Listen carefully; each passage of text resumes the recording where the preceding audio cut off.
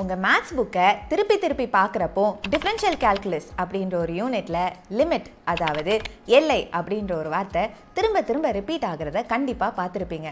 இந்த லிமிட் தான் டிஃப்ரென்ஷியல் கால்குலஸோட பேசிக்கான விஷயமே. இந்த வீடியோவில் நாம் லிமிட்னா என்ன அதை எப்படி டிஃபைன் பண்ணலாம் அதை எப்படி கால்குலேட் பண்ணலாம் அப்படின்றது எல்லாத்தையுமே தெரிஞ்சுக்கலாம். வாங்க வீடியோக்குள்ளே போகலாம்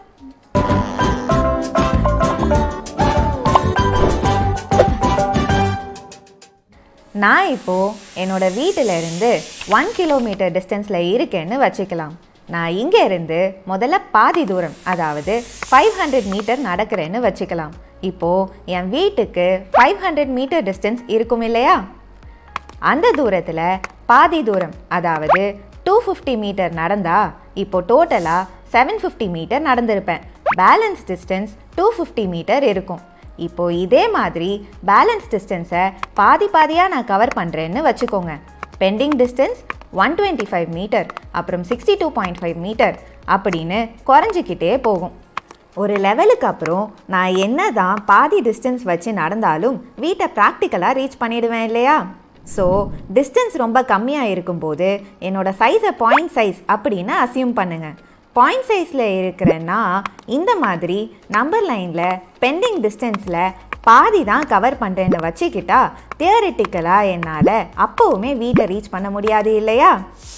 இங்கே என்ன தான் நான் வீட்டை ரீச் பண்ணலைனாலும் நான் அதை ரொம்ப ரொம்ப க்ளோஸாக நெருங்கியிருப்பேன் அதாவது அப்ரோச் பண்ணியிருப்பேன். நான் வீட்டை நெருங்கும் போது டோட்டலாக கடந்த தூரம் தான் லிமிட் அந்த வேல்யூ கிட்டத்தட்ட ஃபினிஷ் லைன் தான். இந்த மாதிரி ஒரு ஃபங்க்ஷனுக்கு வேல்யூவை டைரெக்டாக சப்ஸ்டியூட் பண்ணாமல் அந்த பாயிண்ட்டுக்கு ரொம்ப க்ளோஸாக அப்ரோச் பண்ணும்போது கிடைக்கும் பார்த்தீங்களா ஒரு வேல்யூ அதை தான் நாம் லிமிட் அப்படின்னு சொல்கிறோம் அப்படி பார்த்தா என்னோடய வீட்டுக்கு நான் நடக்கிற டிஸ்டன்ஸை ஒரு ஃபங்க்ஷன் எஃப் ஆஃப் எக்ஸ் அப்படின்னு நான் சொன்னேன் அப்படின்னா நான் ரீச் பண்ணுற அந்த ஃபினிஷிங் லைன் இருக்குல்ல அதுதான் லிமிட் இதை புரிஞ்சுக்க எஃப் ஆஃப் எக்ஸ் அப்படின்ற ஒரு ஃபங்க்ஷனை எடுத்துக்கலாம். இங்கே எக்ஸுக்கு ஒரு வேல்யூ சப்ஸ்டியூட் பண்ணோன்னா அந்த வேல்யூவை நாம் இன்புட் அப்படின்னு சொல்லுவோம். இங்கே எக்ஸுக்கு வேல்யூ சப்ஸ்டியூட் பண்ணும்போது எஃப் ஆஃப் எக்ஸ் ஒரு வேல்யூ கொடுக்கும் இல்லையா? அதை தான் நாம் அவுட்புட் அப்படின்னு சொல்லுவோம். இங்கே எக்ஸ் ஈக்குவல் டு ஏ அப்படின்னு நம்ம சப்ஸ்டியூட் பண்ணோன்னா எஃப் ஆஃப் எக்ஸோட வேல்யூ எஃப் ஆஃப் ஏ அப்படின்ற ஒரு அவுட்புட் வேல்யூவை கொடுக்கும். இங்கே x is equal to a அப்படின்னு டைரெக்டாக சப்ஸ்டியூட் பண்ணாமல் எக்ஸோட வேல்யூவை ஏக்கு ரொம்ப ரொம்ப க்ளோஸாக எடுத்துகிட்டு போனால் எக்ஸ் டென்ஸ் டு ஏ அதாவது எக்ஸ் ஆனது ஏயோட மதிப்பை நோக்கி நெருங்கும் அப்படின்னு சொல்லுவோம். இப்படி இருந்ததுன்னா அதை நாம் இப்படி ரெப்ரசன்ட் பண்ணுவோம். இங்கே லிமிட்டை ஷார்ட் ஃபார்மில் எல்ஐஎம் அப்படின்னு சொல்கிறோம் அதே மாதிரி கீழே எக்ஸ் ஆரோ மார்க் ஏ அப்படின்றத பார்க்குறீங்கல்ல அதை நாம் எக்ஸ் டென்ஸ் டு ஏ இல்லைனா எக்ஸ் அப்ரோச்சஸ் ஏ அப்படின்னு சொல்லுவோம். ஸோ இது எல்லாத்தையுமே சேர்த்து நம்ம இதை limit x tends to a f of x is equal to l அப்படின்னு படிப்போம். இங்கே உங்களுக்கு ஒரு கேள்வி வரலாம். இங்கே எக்ஸ் ஈக்குவல் டு ஏன்னு இல்லாமல் எக்ஸ்டென்ஸ் டு ஏன்னு தான் இருக்குது அப்போது எஃப் ஆஃப் எக்ஸுக்கு லிமிட் அப்ளை பண்ணால் அது டென்ஸ் டு எல்னு தானே நம்ம போடணும். ஏன் அப்படி போடலை? அப்படின்னு உங்களுக்கு ஒரு கேள்வி வந்ததுன்னா அந்த கேள்வியே தப்பு. இங்கே எக்ஸ் ஆனது ஏவை அப்ரோச் பண்ணும்போது எஃப் ஆஃப் எக்ஸோட வேல்யூ எல் அப்ரோச் பண்ணுது. அதனால தான் limit x tends to a f of எக்ஸோட வேல்யூ எல்லுக்கு ஈக்குவலாக இருக்குது இந்த கான்செப்டை நல்லா புரிஞ்சிக்கிறதுக்கு நம்ம f of x equal to x plus one அப்படின்ற ஒரு ஃபங்க்ஷனை எடுத்துக்கலாம். இதை கிராஃபில் பிளாட் பண்ணுறப்போ நமக்கு ஒரு கண்டினியூவஸ் ஸ்ட்ரெயிட் லைன் தான் கிடைக்கும். இங்கே எக்ஸ் வேல்யூ ஜீரோ பாயிண்ட் ஒன்னில் ஆரம்பித்து கொஞ்சம் கொஞ்சமாக ஜீரோவை நோக்கி நகருதுன்னு வச்சுக்கலாம். எஃப் ஆஃப் எக்ஸ் வேல்யூவும் ஒன்னை நோக்கி நகரும். இதை தான் நாம் limit x tends to zero f of x is equal to limit x tends to zero x plus one is equal to one அப்படின்னு சொல்லுவோம். இப்போது இதே ஃபங்க்ஷனுக்கு எக்ஸ் வேல்யூ ஜீரோ பாயிண்ட் நைனில் ஆரம்பித்து கொஞ்சம் கொஞ்சமாக ஒன்னை நோக்கி நகரும்போது எஃப் ஆஃப் எக்ஸ் வேல்யூ டூவை நோக்கி நகர்றத பார்க்கலாம். ஸோ இங்கே எக்ஸ் வேல்யூ ஒன்னை அப்ரோச் பண்ணும்போது இந்த ஃபங்க்ஷனுக்கு லிமிட் அப்ளை பண்ணுறப்போ கிடைக்கிற வேல்யூவானது டூவாக இருக்கும். இங்கே டைரக்ட் சப்ஸ்டியூஷன் பண்ணாலும் நம்மளுக்கு டூ தான் கிடைக்குது. லிமிட் அப்ளை பண்ணாலும் நம்மளுக்கு டூ தான் கிடைக்குது. அப்போ ரெண்டும் ஒன்று தானே அப்படின்னு நீங்கள் நினச்சிங்கன்னா இங்கே ஒரு சின்ன விஷயம் இருக்குது நீங்கள் அதை கவனிக்காமல் விட்டுருக்கீங்க. அது என்ன அப்படின்னு பார்த்தீங்கன்னா இந்த ஃபங்க்ஷன் ஒரு கண்டினியூஸ் ஃபங்க்ஷன் இந்த ஃபங்க்ஷன் கண்டினியூஸ் ஃபங்க்ஷனாக இருக்கிற ஒரே காரணத்தினால தான் நம்ம டைரெக்டாக வேல்யூ அப்ளை பண்ணாலும் சரி லிமிட் அப்ளை பண்ணாலும் சரி நம்மளுக்கு ஒரே வேல்யூ கிடைக்குது. ஆமாம் கண்டினியூஸ் ஃபங்க்ஷன்னா என்ன? ஒரு ஃபங்க்ஷனோட கிராஃப் இப்படி தொடர்ச்சியாக போய்க்கிட்டே இருந்ததுன்னா அதை நாம் ஒரு கண்டினியூஸ் ஃபங்க்ஷன் அப்படின்னு சொல்லுவோம். இதில் ஒரு கேப் அதாவது பிரேக் இருந்ததுன்னா அதை நாம் ஒரு டிஸ்கண்டினியூவஸ் ஃபங்க்ஷன்னு சொல்லுவோம். இப்போ நாம் ஒரு டிஸ்கண்டினியூவஸ் ஃபங்க்ஷனை எடுத்துக்கலாம். ஏற்கனவே பார்த்த f of x is equal to x plus one ஃபங்க்ஷனில் எக்ஸ் மைனஸ் ஒன் அப்படின்ற டேர்மை மல்டிப்ளை அண்ட் டிவைட் பண்ணலாம். நமக்கு f of x is equal to x square minus one divided by x minus one அப்படின்னு கிடைக்கும். சேம் டேர்ம் எக்ஸ் மைனஸ் ஒன்னை multiply and divide பண்ணால் அந்த ஃபங்க்ஷனோட வேல்யூ மாறாதுன்னு நமக்கு தெரியும்.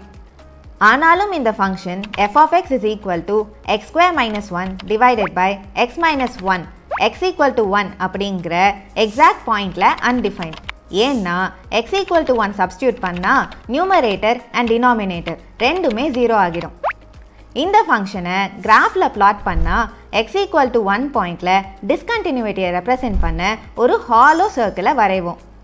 இப்போ இந்த ஃபங்க்ஷனில் எக்ஸ் வேல்யூவான ஒன்னை லெஃப்ட் சைடில் இருந்து அப்ரோச் பண்ணுவோம். அதாவது எக்ஸ் வேல்யூ ஜீரோ பாயிண்ட் நைனில் ஆரம்பித்து அதிகமாகிக்கிட்டே வரணும்.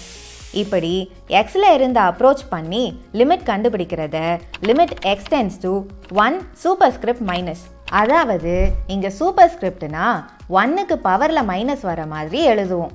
இதை x approaches one from the left சைடுன்னு சொல்லுவோம்.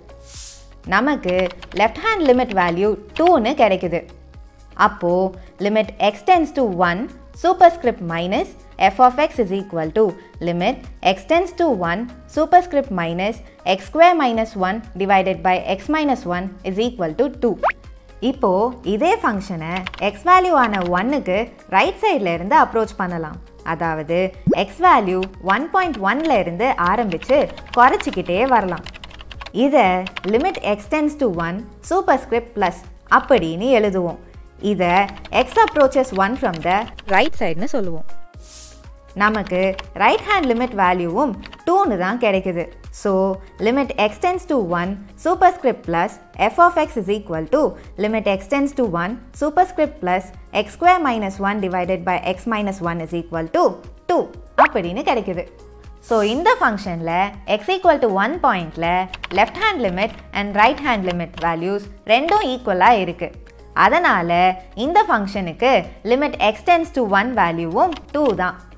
அதாவது limit x tends to one f of x is equal to limit x tends to one x square minus one divided by x minus one is equal to two இப்போது முன்னாடி பார்த்த அதே function f of x is equal to x square minus one divided by x minus ஒன்னில் x equal to ஒன்னுன்னு போடுறப்போ f of one equal to one அப்படின்னு நமக்கு கிடைக்குதுன்னு நம்மளே டிஃபைன் பண்ணலாம். இங்கே பாயிண்ட் ஒன் கமா ஒன்னில் ஒரு டாட் இருக்கிறத கவனிங்க.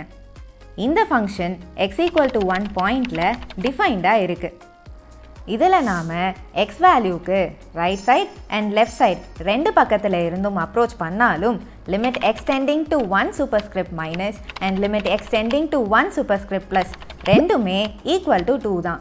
ஸோ இந்த ஃபங்க்ஷனில் எஃப் ஆஃப் ஒன்னோட வேல்யூ ஈக்குவல் டு ஒன்னு இருந்தாலும் நமக்கு லிமிட் எக்ஸ்டெண்டிங் டு ஒன்னோட வேல்யூ டூ தான். இதில் இருந்து நாம் ஒரு விஷயத்தை புரிஞ்சுக்கலாம்.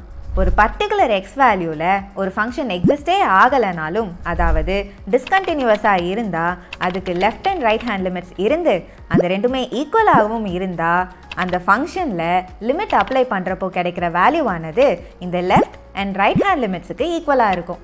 அதே மாதிரி தான் எஃப் ஆஃப் எக்ஸ் ஒரு பாயிண்டில் டிஃபைன்டாக இருந்து அந்த பாயிண்டில் எக்ஸ் வேல்யூவில் டிஸ்கண்டினியூஸாக இருந்தாலும் left hand limit and right hand limit values சேமாக இருந்தால் அது என்ன லிமிட் ஆன்சர் இருக்கோ அதே வேல்யூ தான் லிமிட் எக்ஸ்டெண்டிங் டு த பாயிண்ட்டும் இருக்கும் It is important to realize that the existence and non-existence of f of x at x equal to 1 has no bearing on the existence of the limit of f of x as x approaches 1. அதாவது x is equal to 1 இல் சார்பு f of x இன் மதிப்பு இருந்தாலும் இல்லாமல் இருந்தாலும் அது x இன் மதிப்பு ஒன்றை நெருங்கும் போது f of x இன் எல்லை மதிப்பு இருத்தலை பாதிக்கவில்லை என்பதை உணரலாம் Find the limit for the function f of x is equal to absolute value of x divided by x where x is tending to 0. இந்த ஃபங்க்ஷனை இப்போ கிராஃபில் பிளாட் பண்ணி பார்க்கலாம் இங்கே இந்த function x equal to zero பாயிண்டில் டிஃபைனே ஆகலை. அதே மாதிரி எக்ஸ் லெஸ் தேன் ஜீரோக்கு எஃப் ஆஃப் எக்ஸோட வேல்யூ மைனஸ் ஒன்னுனும் எக்ஸ் கிரேட்டர் தேன் ஜீரோக்கு எஃப் ஆஃப் எக்ஸோட வேல்யூ ப்ளஸ் ஒன்னுனும் இருக்குது இங்கே நம்ம லெஃப்ட் ஹேண்ட் சைடில் இருந்து ஜீரோவை அப்ரோச் பண்ணால் நமக்கு லிமிட் வேல்யூ மைனஸ் ஒன்னுன்னு கிடைக்குது. அதே மாதிரி ரைட் ஹேண்ட் சைடில் இருந்து ஜீரோவை அப்ரோச் பண்ணால் நமக்கு ப்ளஸ் ஒன்னுன்னு கிடைக்குது. ஸோ இந்த ரெண்டு சைடு லிமிட் வேல்யூஸும் டிஃப்ரெண்ட்டாக இருக்கிறதால எக்ஸ்டெண்டிங் டு ஜீரோவில் நமக்கு லிமிட் எக்ஸிஸ்டே ஆகாது. இப்போது இந்த ஃபங்க்ஷனில் எக்ஸ் ஈக்குவல் டு ஜீரோவில் எஃப் ஆஃப் எக்ஸ் வேல்யூவை டிஃபைன் பண்ணாலும் உதாரணத்துக்கு f of zero equal to zero one or minus ஒன்னு எடுத்துக்கிட்டாலும் நமக்கு limit x tends to zero f of எக்ஸோட வேல்யூ எக்ஸிஸ்டே ஆகாதுன்னு தான் கிடைக்கும். இந்த வீடியோவில் நாம் லிமிட்னா என்னன்னு பார்த்தோம். ஒரு ஃபங்க்ஷனுக்கு லிமிட் அப்ளை பண்ணால் அதை எப்படி கால்குலேட் பண்ணலாம் அப்படின்றதையும் பார்த்தோம். அடுத்த வீடியோவில் இன்னொரு இன்ட்ரெஸ்டிங்கான டாப்பிக்கில் பார்க்கலாம். Until then by